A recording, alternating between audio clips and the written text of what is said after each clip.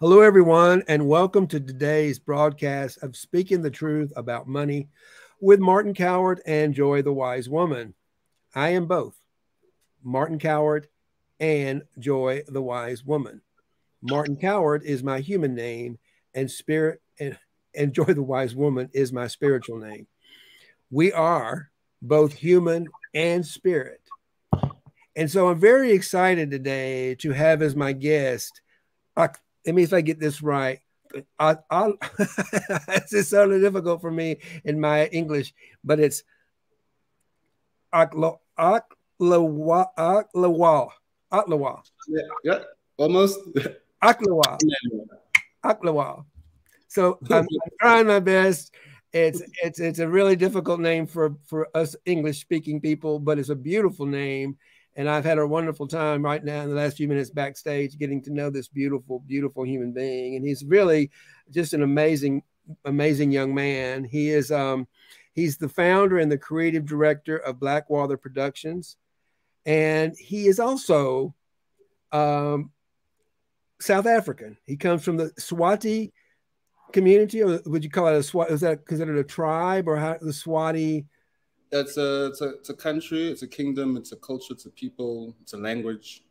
Okay, so he's a Swati. Yeah, Swati, South African. Swati, South African. Yes, and he is a brother. He's got a twin. He loves dogs.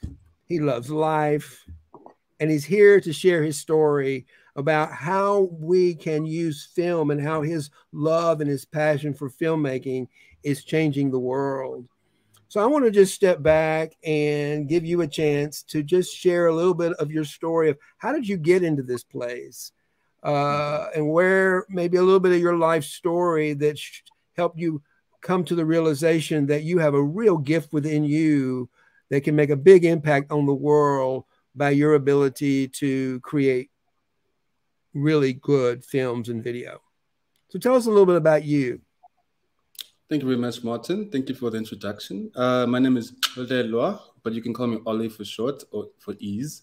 I am the creative director of Black Weather Productions. I believe you said Black Water. That's the. Oh American yeah, my, thank you for that correction. Yes, I meant Blackwater. Yes, Blackwater yes. is a great big uh, firm. It makes lots of money, and hopefully Black Weather makes the same amount of money as well. But thank you for that correction. We do hope so. And my journey, I suppose, into filmmaking, I suppose, I think I knew I was a filmmaker very young. Uh, I suppose, as you said, I'm a twin. So, yes, I've, I was born, I wasn't born alone. I have a companion from the womb to the tomb. And throughout our childhood, I think I discovered that. So, the thing when we were growing up, so my bedroom basically became like the playroom bedroom. So, all the toys were always in my room. So, every time we had like a scenario between my sister and myself, we would always kind of play with each other. But it would be a scenario where I would kind of very much dictate what would we what we be doing. So like the character must do this, the character must have this emotional journey, and then they must do this, and then the action scene must do that, and then this must do that, and then this must do that. And my sister's like, "What about this? What about that?" I'm like, "Those are nice ideas, but we're not doing that right now." And it's just like this, this, this, this, that, that, that, that, that, that, that. And then it was like, but luckily for me, I had a sister who was able, or uh, gave me that chance to be able to like kind of dictate because also, I mean, twins were very equal minded. So it's very hard. So I suppose, but I think she also taught me how to convince her of my ideas or maybe in help me better uh, speak or better, no, no, not pronounce. What's the, what's the English word? Better explain myself. I think that was a, because as a kid, I used to mumble a lot. Like I was a notorious mumbler. I don't know if you can tell right now but I used to mumble a lot. And my sister used to be like my translator. So I would say something, no one, everyone would ask, what did he say? And she would say, he said this. And it was like, oh, okay.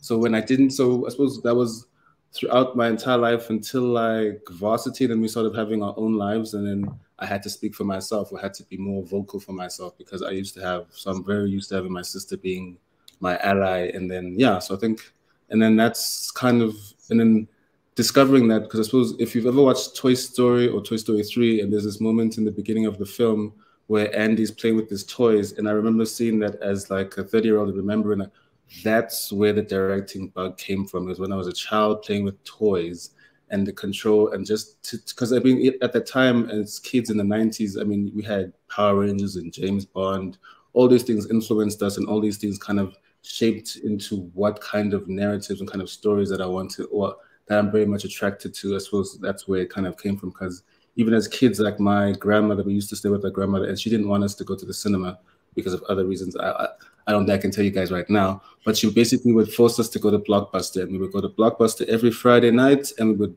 get like five VHSs of whatever we wanted, and we would just go to town all the weekend long. We would just watch movies, watch movies, watch movies, watch movies, and that was what we did. And at least my sister also loved movies enough, so she became my movie fan, my best. I mean, we're best friends for life. So luckily, we were we were good twins, not the bad twins. I've seen some bad twins, but luckily we like each other. So yeah, so, so essentially that's that's the inception of my, I would say filmmaking because I don't I don't want to say directing because there's there's three types of directors. You have the the writer director who wrote the script, who came up with the idea, and you have the director on the set who actually directs the thing, and you have the editor at the end who actually cuts it together. So there's always three directors in any given thing. So I always like so I always so as a, as from varsity, I think I started doing editing because that was just the technical. Because I always loved computers or whatever technology kind of thing. Mm-hmm. So I mm-hmm. think that was my attraction to that, and then science and technology, and the arts is basically editing. So at least yeah. So I got that. So that was my first hook into filmmaking, uh-huh. and that's where it kind of it grew from there. And I think it also grew from. I think it was. Uh, a piece I did in varsity actually it was kind of a piece called Lost Father because my father died when he when we were very young, so I I, never, I don't know my father. So I wanted to do a thing where I took pictures of family pictures and I just cut out family members and then I represented that as my father and I played a very I think I played I can't remember which Coldplay song, but of course it was a sad Coldplay song, but it had hopeful. It had like it, was, it started sad and it got a little hopeful and it ended very excitable. But I suppose throughout that thing, you kind of saw the journey of my whole life where this person has been missing through my entire life. And that was kind of like the lost father kind of thing. And then when watching that and watching like my my classmates, they were reacting to it. They're like, they were some one one cried and another one was very quiet. And I was like, oh wow, I didn't think I was able to make people cry or make or get a reaction out of people that way. So I was like, I mean, that was the point, but you know, sometimes you have a plan, but it doesn't go to plan and you the execution, you know. But yeah, so that was when I thought, um, okay, I have a talent to manipulate emotions, so I must be careful with how I do it.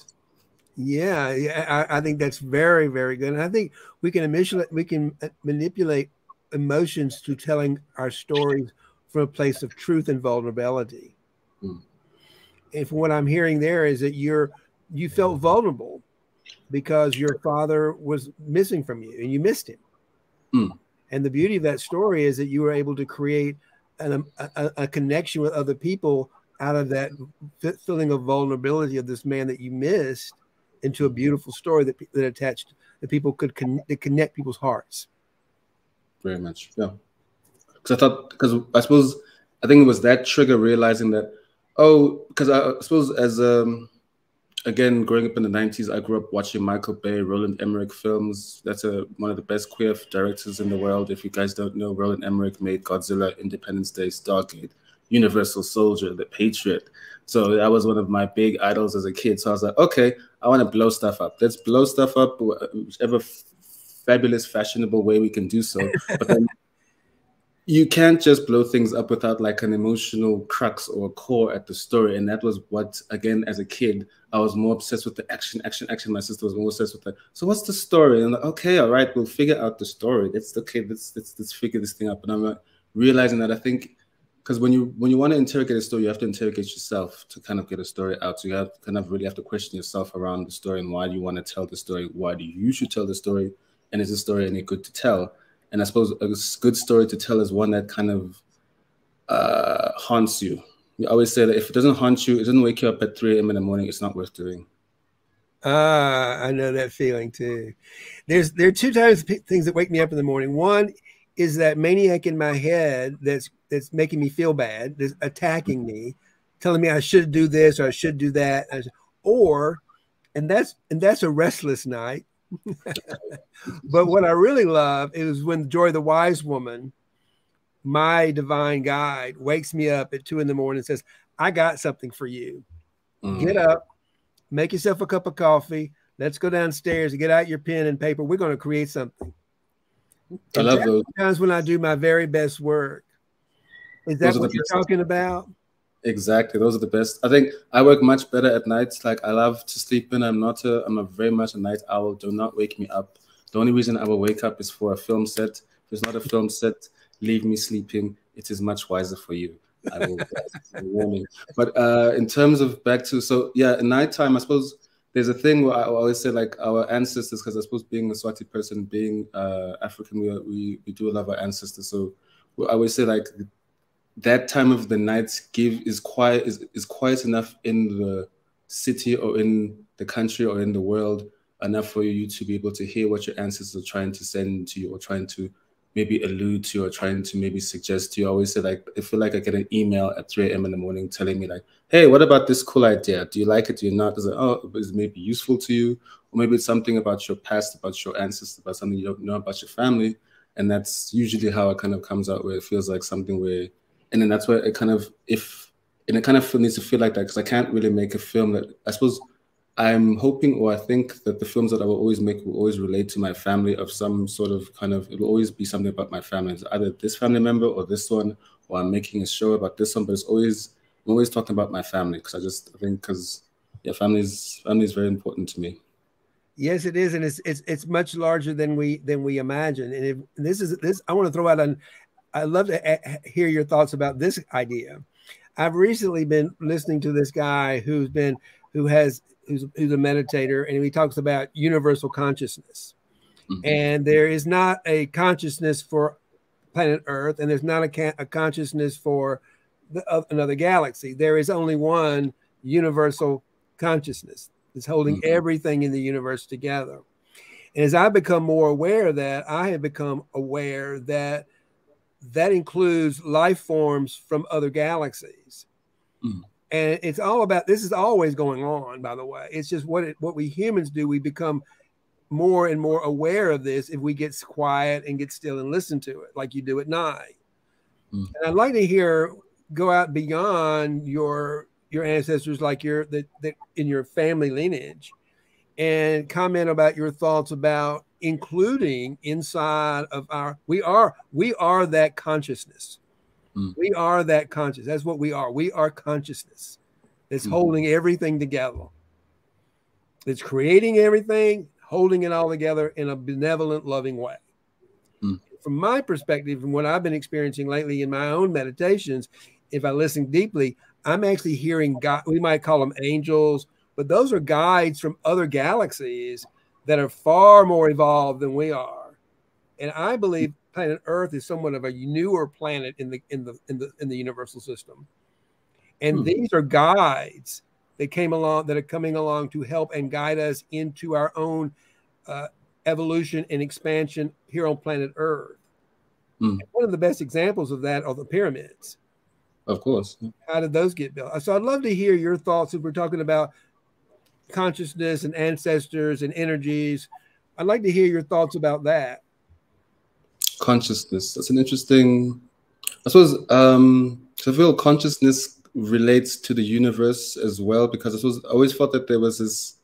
Like I grew up Anglican, or I was raised Anglican, so I, suppose I was very much in the Anglican church. So I always felt like, I mean, that they tell you that Jehovah is God and Jesus Christ and all of the the Holy Ghost. But then I also had friends who were Islam. I also had friends who were um, they practice Hindi. Also had friends who practice Taoism. So I was like, when you go to their homes and you see how their shrines are built, and you know, oh, those are different to we don't have shrines at our homes as Anglicans. Usually, you would go to church for that.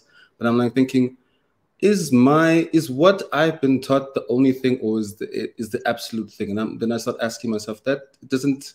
There's too many people or and then when you start, and then I start asking myself, okay, how long have we been here as human beings, like in terms of evolution? Like, okay, when you you look at these things that we've been, we've evolved over hundreds of thousands of years and, and whatnot. I'm like, okay, so there's so much more as human beings we really don't understand. And then a lot of the time, as human beings, we're very quick to make a story or make a, an answer just for the sake of it, instead of allowing curiosity and ignorance. Not, I mean, not ignorance is the bad thing, but allowing space to allow maybe something else to kind of answer itself, or maybe allowing. And I feel like a lot of the times religions have kind of been a result of a uh, a need to to answer something that people are are wary of. Because I suppose as as any given person, we always have a sort of fear, but we don't know what it is. Like there's this ungovernable fear that we have that we're like, is it what's going to happen today? Am I going to do this? Is this going to happen to me as a meteor shower?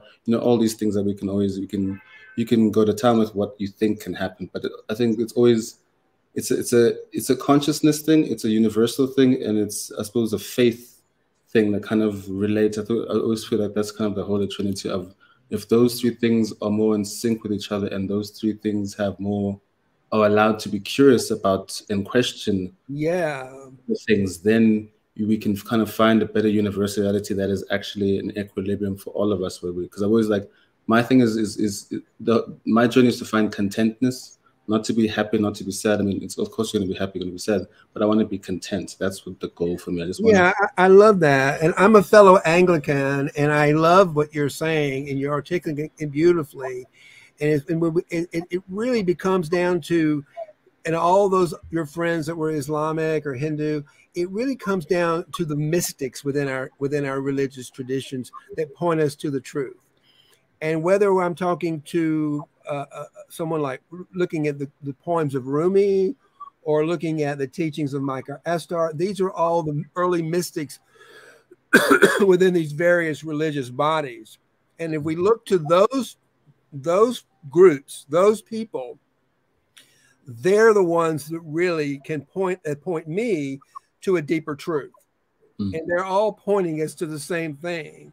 Mm, and what. Jesus called the kingdom of heaven, and I, this, is, this is something I believe to be. I'm Anglican, but I think the religious institutions created a, created almost a a wedge, a a block between us getting into the kingdom of heaven.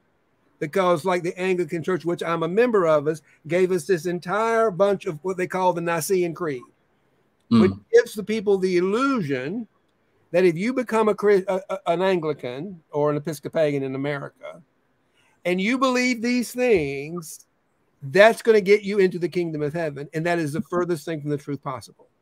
Yeah. You don't need anything to get you into the kingdom of heaven except for to quiet your mind, open your heart, and look in the in the mirror and say, "I love you exactly as you are.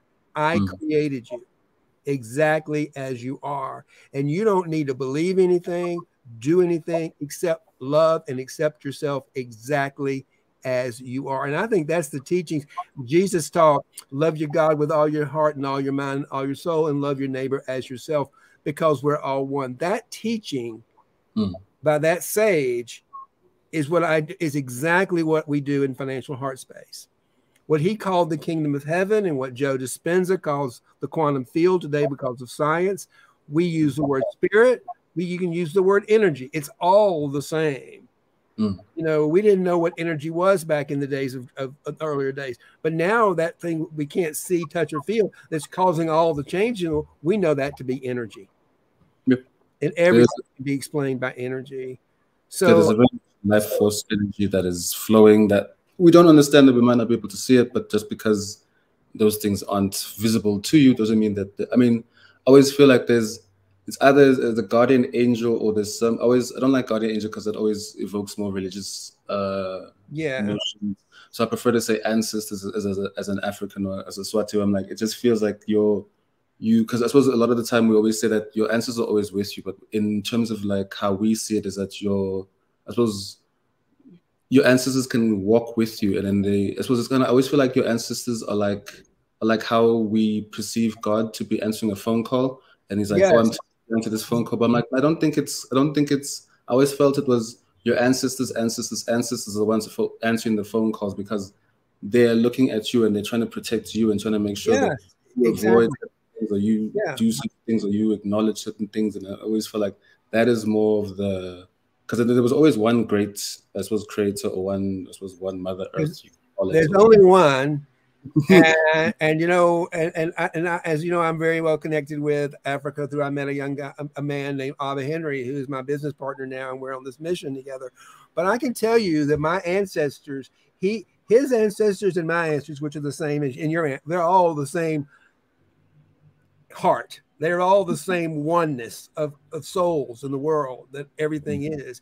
And I am I am now because of my connection to Africa through him. I got called to Africa to come and help him mm. at a deep level. And I can remember before I ever met him this sense of of homeness of coming home to Africa. I mean, I'm a pretty white guy, you know, but when I met Abba for the first time in person in Nairobi, it was like I came home to a deeper part of myself. And he did open my heart to a deeper room of love that I never knew existed. Mm. That, say, that's the beauty of the ancestors to me. Very much. Because I think when, so I grew up in the States and then we came back for the first time, I think we were around 12, 11, and getting off the plane and just smelling the soil and just smelling the earth and just it was it was overwhelming because it was was something I've forgotten, but then something that was very recognizable and very much a thing where it's like this feels right or this feels like because I suppose not to say that America and Canada didn't feel like home, but you could always say that yes, these are temp. Well, for me, because my grandmother was a diplomat, we knew that it was going to be a temporary residence. So like we're not going to stay here for very long. So eventually, when we get home, let's see what home is. Because I mean, we didn't really know as kids living in the states and Canada. And then we're like, okay, we're home now because we, I suppose, as of course you can see, it's all Swati people. It's in Swaziland, so it's like it's, it's so it's a very, very much a very uh, it was a, it was a great feeling of belonging and a great feeling of of just re because I suppose you're always taught about your culture, but you don't get to see it. And now I get to see it in live action. I'm like, okay, this is now I can now I can now I can see my others because as a kids, they were like no. I think I think you can still ask many Americans, where is Swaziland? What is Swaziland? It's now called Eswatini. They're like, is that a place? Is that a thing? Is that a drink? What is that? They're like, place, very much landlocked between South Africa and Mozambique. So yes, so I think so when you so when you so when you have to explain to people that explain something that they don't understand and they plausibly want to doubt, and when you get to the place, you're like, okay, I'm home now. I don't have to. I don't. I can release your doubt. I can release your toxicity, and I can take the what I need from home. Thank you Vera. I want. I want to take a step back, and I want to talk about uh, some realities in Africa, and I want to. I want to ask you to maybe perhaps at the end of this, of this conversation, of this, of this of this concept, I want you to talk a little bit about what you might advise other queer Africans who are living in a lot more struggle. I mean, today you've come to the place where you are a successful filmmaker. You've had some advantages that maybe others have not had. You do live in a country, South Africa, which is more tolerant than many African countries that are like Uganda, where they have the kill the gay laws, where people have to leave the country or get their parents can kill them. So, mm-hmm. what you know, people can quickly. I know I can. When I see people who are successful and done well, it's like it's like they don't think they can do it they don't mm. think they have what they they don't think they have what you have, and they can get stuck and they can feel struggle and say, "Well, I can't do that." But the reality is, and you and I both know that they have everything in you. Everybody has has that creative genius within them. And what would you say to someone, or maybe you share a story of where you've you've really co conquered something that was challenging in your life that might help give some hope to a fellow queer African out there who's struggling to get by? What could you say to them to give them a sense of hope that they they really have everything they need within their very own hearts to empower themselves? That is a tough one because i suppose yeah the african continent is such a vast large continent and i suppose specifically speaking as, as being a south african i am very fortunate that my constitution is very much entrenched and very strong and i don't and i feel very safe here as a but again, I have privilege that is beyond. I have male privilege. I have cisgender. I present myself as cisgender male. So most people don't question my sexuality at all. Most people assume my sexuality all, all the time. So I suppose within those spaces, I I suppose I can. I don't want to say it's hidden, but it's like I can pass much more easier than if someone was more flamboyant or someone was trying to be more of. And then, but what as an inspiration or as um as a struggle piece. But I think, but that even got to a lot. That took a long time for me to get to the point where I felt that. Oh, thank you very much, Jeffrey, and I saw you, Bile. Thank you very much, Bile. Thank you for for being here. Um, Uh, my struggle was, I think, because my so my struggle is so I have so I, as I alluded before, my grandmother was a diplomat, so uh, she traveled around the world. Uh, she was able to take the family around the world, and through that, as a diplomatic brat, which is a kid of a diplomat, you kind of have to present yourself in a certain way, and the certain way you have to present yourself is this not a shining peak, but this is a, a, good representation of your country. Because if people don't know your country, you are the first and last representation of it. So if you represent poorly, you could make yourself, and then it could all. So as a kid, I, felt my duty was to represent my country a certain way, but that meant I had to represent my my representing myself took second or was in the back seat. The driver was the making sure I have to do. Thank you very much, uh, Ushe. Nice to meet you as well. Um, so it was, it was, so it was, so it was, so it was kind of a struggle of trying to figure out who am I in myself? Like, am I this person who's a representation of a country? Like, yes, I am because I'm very proud of being a Swati person, very proud of my nation, I'm very proud of having a kingdom. But I'm also, I understand that my kingdom has uh, issues in terms of queerness. So that was essentially why I suppose we I prefer to stay in South Africa, but I'm also a South African citizen, so I have that ability. And again, I have that privilege of having dual citizenship with both countries, so I can kind of. So I think, the struggle for me, which is still a struggle for me, I think is because what I'm doing right now, I'm writing my first feature-length uh, film, which kind of questions this idea of what is a legacy and what is a legacy and what what happens when you want to question this legacy and maybe you want to maybe rejected entirely because the, the premise of the film is that this young man who, who suffers from an anxiety or debilitating form of anxiety goes to a Catholic school. His grandmother was the first bishop at the school, but for him, he at the school he goes to, a new boy comes from Canada and he has an immediate crush on him. Problem is that his family is very devout Catholic. So what does he do with this? Luckily for him, at the hospice he volunteers at, this old man who has no love for religion and has tried to commit suicide unsuccessfully, they make a pact. The pact is the young man will help the old man kill himself as long as the old man helps the young man get laid with his new crush.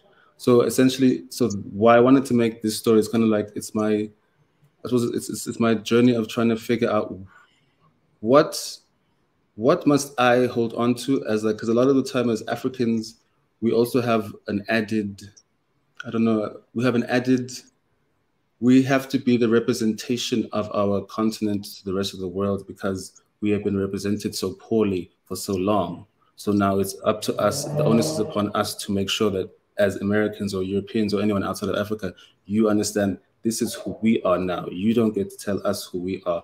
We are now telling the world who we are now. And with that comes the the weight of what is that? Because as Africans, our history wasn't written by us some of our history was stolen and is, is in the museums. So, and then now we're struggling to figure out what we are in this globalized world where we're trying to compete with the world, but how far we're going to go to compete in globalization and what, as Africans, is African. And we need to have this, I suppose, I think we I feel like we're in this renaissance of really unpacking what it is to be an African, because a lot of the time, a lot of our history starts from when we were colonized and that's always i mean as a kid i hated that. I mean i went i was also fortunate again that my grandfather was a very learned man and he loved he always had an encyclopedia he had the entire encyclopedia britannica at home and he had like the biggest dictionaries that i've ever seen. Like as a kid i could never pick up a dictionary because i'd probably kill myself trying to carry it. That's how heavy it was. But every time he was saying you don't know something just go to the dictionary go to the encyclopedia figure it out. And i would like okay i'm curious about america. We're in america. Let's go America has this great five page spread about describing the whole entirety of America. I go to Swaziland, there's like two sentences of Swaziland. I go to Egypt, maybe there's two pages, and that's probably the most we're going to get as Africans. So, well, I'm like, so I'm like, what are we? Who gets, like, because as a kid, like, like of course I had my Swati culture being living in a Swati home, but again, it's like, I need more. I need to understand more of the world because how I've been taught in America, America's very good at teaching the world about themselves. So aren't we all? Aren't we though? I mean, that, that is my that is really where I think Americans have so. For me personally, and I got. I'm just going to share this my own story. I love what you're saying. Americans, our culture is, and, and, and a lot of my friends don't like hearing it, but this is the truth. We are very narcissistic. It's a very what's in it for me attitude. And we look at the rest of the world like almost like you don't really know what you're doing because we're Americans and we know better than anybody else how everything's done. Well, what I mm. have learned in the last year as I've gotten to know Africans, most specifically my business partner, Abba Henry, is that we have a lot to learn. And I mm. would even say that Africans are a lot more evolved in the in, in the evolution of hum, humankind than in, than most of Americans.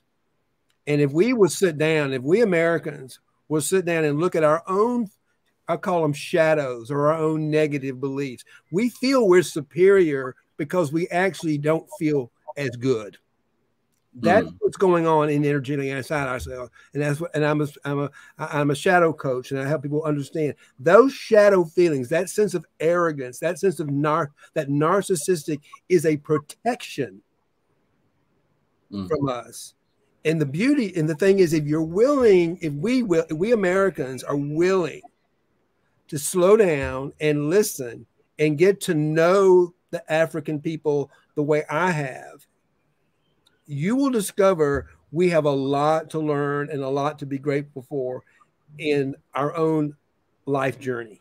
And I can say that my life is richer, more exciting, and more fulfilling since I have become friends with so many beautiful African, particularly queer African men who've opened me up to seeing the world from a whole different lens of love and generosity that I did not even know existed before. Mm. So I really appreciate what you're doing in the world to help open up the eyes through filmmaking and storytelling that can help open the eyes of in, in a loving way. And I want to do the same thing. I'm not criticizing it. It's just it's just the way we were raised in our country, and it's. Mm-hmm. It's, it's it's not an excuse, but it is an explanation.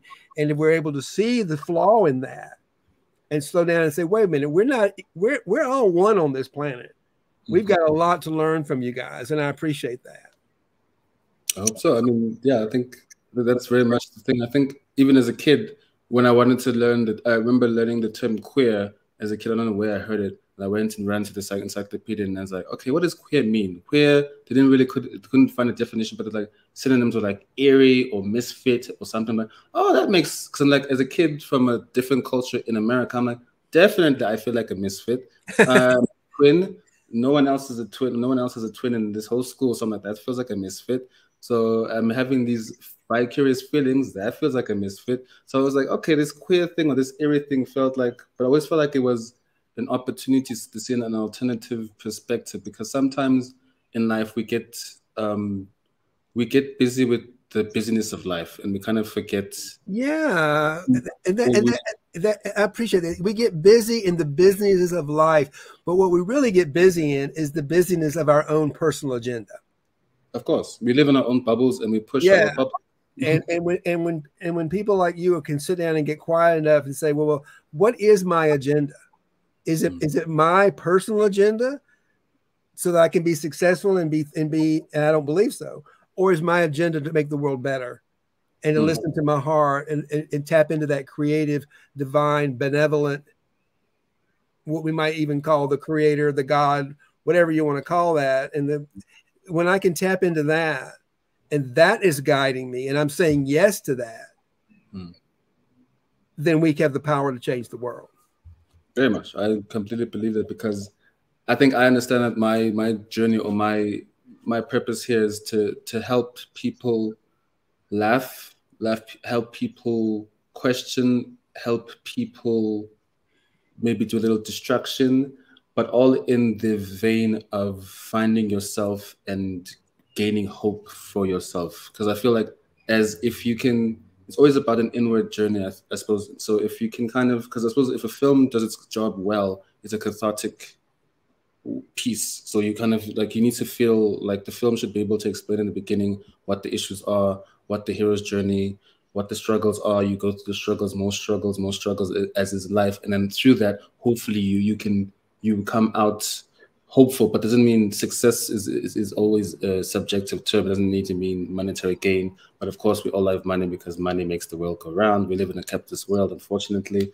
But within that, I think our job as filmmakers is to instill hope. And I think that's I got that from say Mr. Banks. That was I think the film with uh, Emma Thompson and Tom Hanks about uh, I forgot which one, but yeah, it was basically like what is our jobs as filmmakers? Our jobs as filmmakers is to make sure that our audience leaves with hope. But you must, but I always feel like, but you must take them to a whirlwind of tornado of emotions. It must be an emotional roller coaster before we get to that hopeful bit because as human beings are we're very arrogant about ourselves. We have very large egos sometimes. So we have to kind of knock that ego down a little bit. Uh, but I don't like to do a thing where you where you knock someone's ego down, but you don't help them up. So I just feel like ah. don't someone without trying because it's kind of like don't don't insult someone just for the sake of insulting someone. Yeah. If you can if you can be aware of someone's flaw, don't make it a flaw. Make it uh, a building thing. Like oh, if I see this thing, I'm like oh, why don't you do? I don't know, but it's it's one of those things where I'm like it's better to build than to break. And I think we're builders. I think we're builders too. Yeah. I think I and I love that. So we're coming up on the half hour now. Actually, we've gone a little over, but I'm enjoying our conversation. So I didn't want to um, uh, I didn't want to um, interrupt you because I just enjoy what you're having to say, and I think it's very, very, very, very important. You're so welcome. Glad you came. Thank you for tuning in. Um, well, you know what? We're gonna. This will be a podcast, and we'll send you the we'll send you the podcast when it comes out, um, and you can take a look at that and you'll be able to stay in tune with us. So thank you for being part of this day. Um, and thank you. Uh, thank you. so one more last thing. So you're a filmmaker, and what one film or what, what would be if if you really if if there's a fellow African out there, uh, maybe a queer African or anybody out there for that matter, that that you would like to point people to to get to really know you and your story. What film of yours would you send people to? To get to know I don't think I've made it yet, to be honest. Okay. Um, but I would say, I mean, my first official like film out of varsity was a film called Lost in the World. It was a short film. It was a film about a police officer who was a lesbian and her girlfriend was killed through corrective rape. If you're not sure what corrective rape is, it's the illusion or the delusion that um, heterosexual men rape lesbian women in hopes to turn them straight. So the film premise was that so her girlfriend was killed by a corrective rape. She's also a police officer, police officer herself, but her fellow police officers don't want to help her solve the case. So this throughout six months to a year, she kind of loses her soul, loses her mind, just because, because she's delusional, and then she kind of finds herself in the psychiatric ward. But within that, because I like to kind of play with the, I don't want to play a story like uh, A, B, C. I prefer to do it like B, C, and A, just to kind of make you work for it. I yeah, I, yeah, I love that because that's that's really how nothing is created on a linear plane. Mm, Everything right. is created from a place of, of, of energy that's chaotic. Exactly. As, as creators, we all know that's why we that's why we get woken up in the middle of the night to go and create something because it's it's like I'm ready right now. I got to go grab this and this and this and put it together and, into something that people can understand. So what was what was the name of that film again?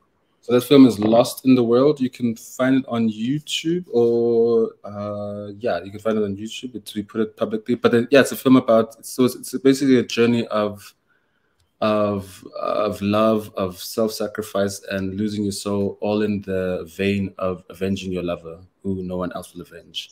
But I suppose, and that's kind of, I suppose, I I wrote it in the vein of what if this happened to a lover of mine and I wasn't able to helped because I suppose a lot of the time I was taught as a like one of the only boys in uh thank you very much BC oh Brendan Campbell um, that I was taught to protect the family. So so if you can protect your family not to say that you're no good but it's kind of like what do I do now? What what what what am I left with? Do I just cower? Do I just sit? And a lot of the time and the inspiration for the film came from me being part of a um, a journalistic um, so, so, two journalists from Germany from uh, they came down here to South Africa to film the all lesbian football team. But really, what really what they wanted to look at was corrective rape. So we went to different places and then got to interview different ladies and really understand. I really got from there. I really got to better understand that yes, South Africa is a great democracy and, and our constitution protects everybody.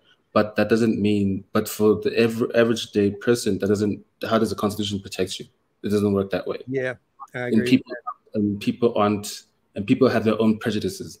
and they don't really care about the constitution. And if you're and if you have a mob mentality, well, good luck to you. I mean, if yeah. you are the one in singular person. So it's kind of like thing. So I realized that okay, I need to make a film about the survivor, and it's not about. And I don't want to make the survivor a victim. I want to make the survivor a survivor who will thrive and then be able to dictate what they want after their life or with their life. And I think that's where I think yeah, that will probably that's a that's a that's a good one to watch. to start with you. Okay, hold on one second. I'm going. to I want to make a short, uh, uh, little commercial break for something we're doing very exciting over in Financial Heart Space. Uh, my business partner Abba Henry and I have created a new virtual online global uh, LGBTQ global heart space coaching program, a coaching community to bring mm-hmm. unity in the world and to coach people how to bring that unity into the world. How do we create working, loving relationships for the betterment of our planet? And I'm going to mm-hmm. drop the I'm going to drop the link in this uh, next to the next to the video. But if you, I would love you to anyone who's listening, if they want to become part of what we're doing in the world, please join us in this wonderful new virtual global community, the LGBTQ global heart space community. You can just find us on. Uh, you can just put that in. You'll find us on YouTube and uh, Facebook and, and, and all the other social media outlets. But we're very excited. We just launched that this week. We did it. We did it with a little short film called "The Caterpillar, the Butterfly, and the Human Being." It's about a four-minute clip. I'd love for you to see it sometime and get your thoughts about it. It's it's it's very raw and real. It's the first time we've ever created something. We had, but we had a blast Alb and I had a really good time putting it together. I wrote the script and I did the narrating, and he took all that and added some added some videos to it. It's really kind of fun, and it really tells a story of what this whole community is all about. Is that we're a lot just like the just like the butterfly, the caterpillar has no idea that it has wings to fly like a butterfly. Mm. Most humans don't have any idea they're so much bigger than what they think they are. We're, we're so much more than a human being. We are truly, truly both spirit, energy, and human. But the life force within us is that creative life force that's creating everything. And when we can plug into that and we can come to the realization that's who we are, mm-hmm. then we have the power to change the world. And that's what we're doing. So join us over there if you'd like to. Otherwise, thank you so much for joining me today, Ollie. It's, I'm going to go with your with your more English name, Ollie. Is that right? Because I can't. I'm really yes. having a hard time getting that in, into your name. Let me try. But you did it there. Oh, Olelwa, yeah. Oh wow. Okay, I'm trying. I'll get there. Uh, and just I don't know if you know it, but Desmond Tutu's daughter is a lesbian. She's an Anglican. He was your he was your the bishop for, yeah, yeah. Of, of, for years, and his, his daughter is a lovely person and she is a member of our tribe as well. She and her wife live in the Netherlands. Hmm. I don't know if you're aware of that or not, but I just thought I'd throw um, that there. I mean, that's why we know uh, Untate Desmond Tutu is who he was. That is the man who he was because of, I mean, I think there was no other South African who just emitted love like he could emit love and just. Yeah, I, I he just gave me chills. I had the good fortune to get to meet him on several occasions when he visited America. Uh. He was a good friend of my cousin's uh, and came to Atlanta. And actually, I think I met her when she was a little girl because I remember he had a big party for Desmond Tutu and his family when they were here. And they were just like little girls and young kids. And I remember meeting them and just thinking what a wonderful, love, loving, loving, loving man that he was. And uh, mm-hmm. just wanted to throw that in there since we're both Anglicans and part of that community. Anyway, thank you so much for joining us today. And thank you. And in the meantime, may love and prosperity prevail. Thank you. Thank you. Thank you for having me.